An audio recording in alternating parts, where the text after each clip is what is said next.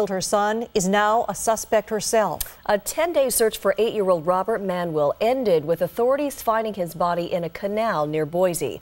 And tonight, Erik Sandoval reports police have arrested two people the boy's mother and her boyfriend.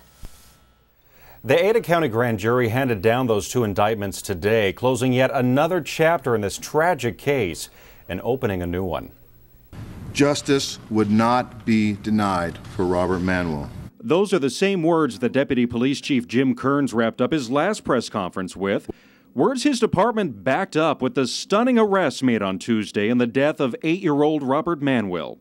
Boise police have arrested Daniel Edward Ehrlich, age 36, of Boise, on the charge of first degree murder for the death of eight year old Robert Manwill.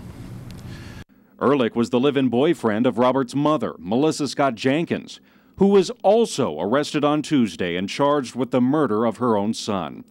Robert was visiting his mother at the time he disappeared. He was living on the East Coast with his father. His mother and her boyfriend were seen emotional and embracing at a press conference, asking the community for help in finding him when he disappeared.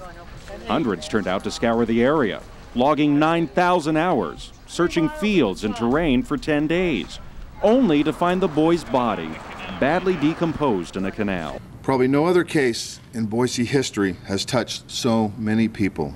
A case that now heads to the courtroom where a mother will face the ultimate question Did she murder her own son? That mother, Melissa Scott Jenkins, will get to answer that question tomorrow morning. She and Daniel Edward Ehrlich will be in court for the first time answering those charges.